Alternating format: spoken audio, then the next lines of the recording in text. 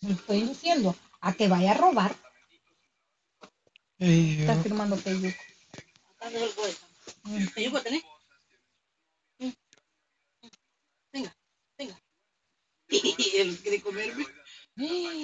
Ay, estos están más duros, estos no se los come. Vení. Mira lo que dice ella.